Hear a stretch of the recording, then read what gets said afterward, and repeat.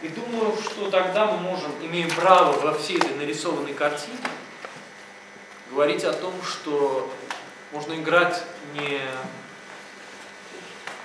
только как в ситуации с Ниной, которая бежит из дома, да, не просто абстрактное желание стать актрисой, да, или не какую-то там любовь, вот люблю, не могу, и все, я Ромео. Да, уже ребенок, да, я ездил за вами, да, вы меня выгоняли, но я все равно вас люблю, не могу я. Да? Ну, если так любишь, ну давай тогда. Чего ты стреляешься? Ну, я сейчас вульгарно говорю, грубо, специально, нарочито, да, огрубляю, огрубляю ситуацию, да? Но это говорит человек, позвольте мне э, остаться, э, останьтесь или позвольте мне ехать с вами, это говорит человек, у которого как у Нины, с первого действия. Здесь уже ничего нет. Здесь ничего нет. Понимаете? То есть умирает дядя, и все. Умирает фактически тот человек, который его, да, для него ну, был последние пять лет самым близким человеком в этом доме. Может быть, вообще, в принципе, самый близкий человек. Человек, который как-то понимал, как-то ему сочувствовал, как-то, да, и прочее, прочее. И в доме он останется с Полиной. И, и Аркадьевна больше сюда не появится. И еще Было при... красиво, чтобы Нина приехал вообще на могилу матери. Тоже не пообщаться, не Ну да. Посмотрите, да, какая становится плотная, конкретная э, ситуация. Без э, излишнего романтизма. Потому что я вообще полагаю, что э, если так выходить на какие-то более теоретические вещи в связи с этим, что э, последние годы, десятилетия э, произошла кардинальная смена, э, которую, вот как я часто понимаю, не секут а артисты, много работаешь с артистами разного поколения, не секут артисты э, старшего поколения, которые очень включаются молодые. Э, Я полагаю, что произошла смена типа разбора. Я называю старый разбор, который был когда-то, я с ним очень часто сталкиваюсь, э, именно в связи э, с старшим поколением артистов. Называю это романтический разбор. Знаете, разбор, исходящий из неких, э, не из конкретики психологии человеческой, не из конкретики обстоятельств, да? Вот это очень конкретная ситуация, вот то, что я вам сейчас говорю про да, мотивацию вот этих слов а, «позвольте мне ехать с вами», «останьтесь или позвольте мне ехать с вами». Грубо говоря, старый разбор говорил бы о любви. Да? А, сменилось время, сменились поколения, сменилось осознание жизни. И разбор становится более, я это называю, биологическим. Более э, как бы ориентирующимся на эгоистическую структуру человека. Не романтическую, понимаете, да, не идеализирующую человека, а человека в определенной степени разоблачающую.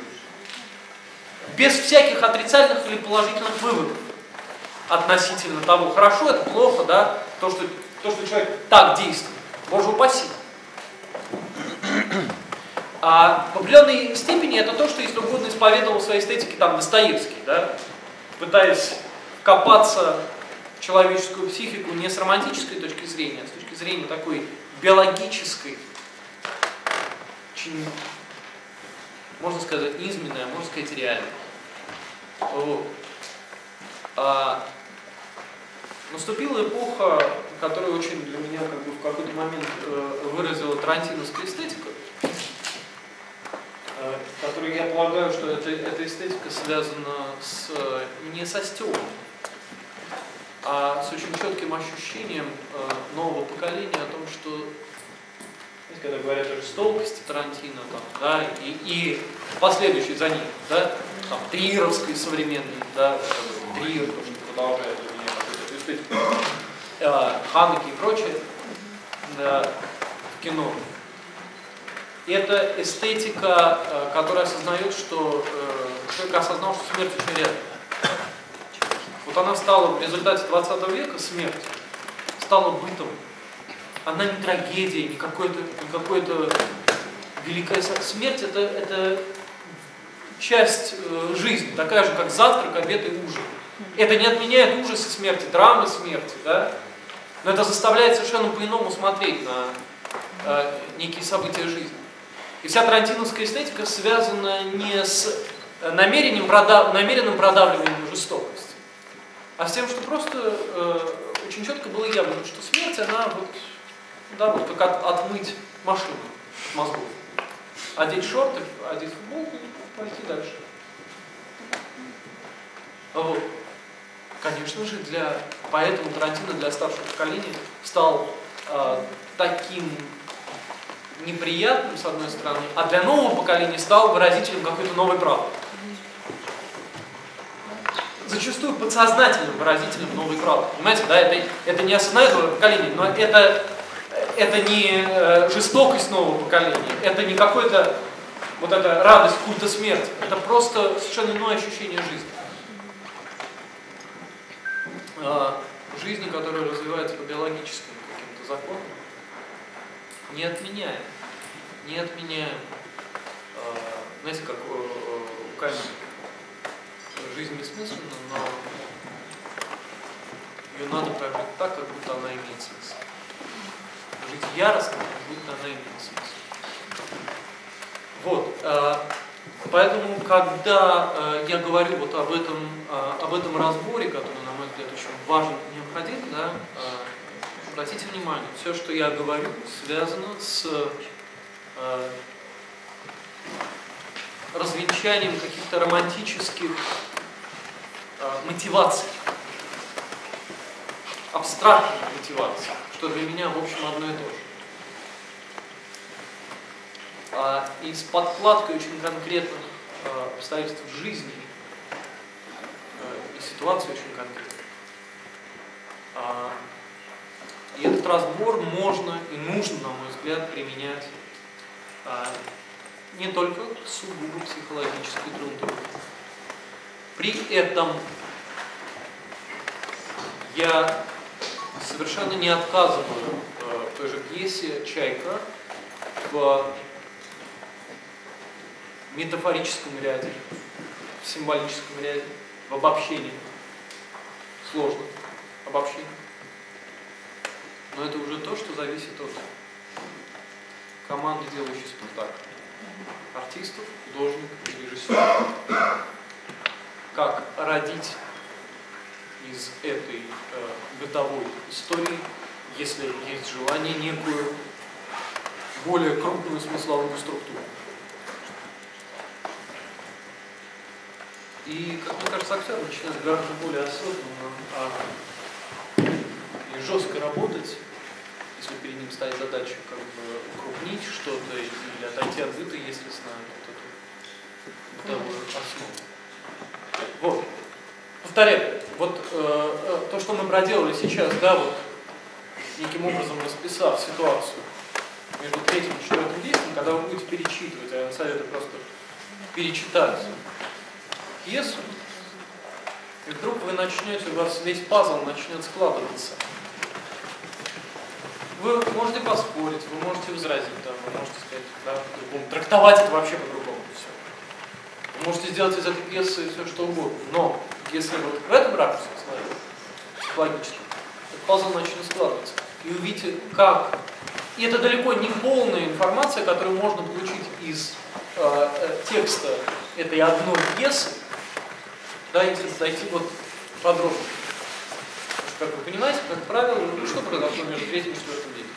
Ну вот, да, что-то было, вот на уровне он ее любил, она его не любила, чего-то там было, как-то все происходило и все прочее. Когда мы говорим о сцене Нина Треплев, э, все равно для меня так или иначе одно из важнейших смысловых, не сюжетных, но смысловых сцен в этой истории, то здесь уже, что называется, вопрос трактовки. Да? Я могу сказать, что можно сказать, что она приходит, зная, что в этом доме Григорий. Э, можно сказать, что она наворачивает круги вокруг того пространства, в котором ей было хорошо. Э, перед отъездом в Елец. Можно сказать, что она просто, в конце концов, истощена и хочет есть, как она там говорит. И у нее просто нет денег. У нее просто, чертовой матери, нет ни копейки. И она на последней шиши приезжает сюда, чтобы, может быть, пробиться к дому отца, но ее не пускают, выставили сторожей. А вопрос, почему выставили сторожей, возникает. Значит, она приходила в этот дом. Это не то, что она приехала, по всему городу разнеслась весть. Нина Заречная приехала и сидит поставила на дворе. Да нет, наверное. Отец и мать выставили, мачеху выставили сторожей, наверное, потому что она заявилась в этот дом. Наверное, сказала, или пошла вон, и после этого да, сделали так, чтобы она больше не появлялась.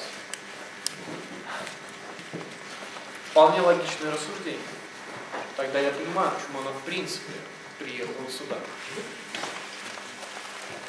Хотя э, во всех репликах, которые, которых э, вот, как, как может родиться просто символический какой-то смысл из всего этого, да очень просто. Если вы обратите внимание, а, о ней там говорится вот в четвертом э, действии, э, Треплев говорит, она входит, да, Медведенко говорит, ну никак не зайдет в этот дом. Медведенко говорит, что я ее встретил, она сказала, придет. Треплев говорит, не придет. Она рядом идет. Она здесь, говорит Дор? Да. И, наконец, когда она приходит, Треплев говорит, она пришла. Моя добрая, ненаглядная, она пришла, но не будем плакать. Не будем плакать. Когда мы репетировали, у меня возникло ощущение, абсолютное ощущение, что если говорить о каком-то метарлинговском просто даже уровне этой пьесы, что речь идет о смерти. Потому что когда мы э, подошли к, э, к истории, связанной с Сорином и с его умиранием и ожиданием смерти в этом доме, то некая какая-то странная фигура, которая наворачивает круги вокруг этого имени, никак в него не зайдет, в какой-то момент вдруг заходит. Ради Бога, можно так. Да, я сейчас говорю о каких-то странных вещах смысловых, которые там могут возникать и проявляться. Но можно так, можно не так, не суть. Можно оставить на бытовом уровне, можно по-другому трактовать. Суть в том, что, как вы видите, даже у приезда э, Нины есть э, вдруг возникает жесткая мотивация, э, просто из э, текста по поводу того, что отец и мать выставили стражей, и из ее фразы по поводу того, что есть мне хочется есть.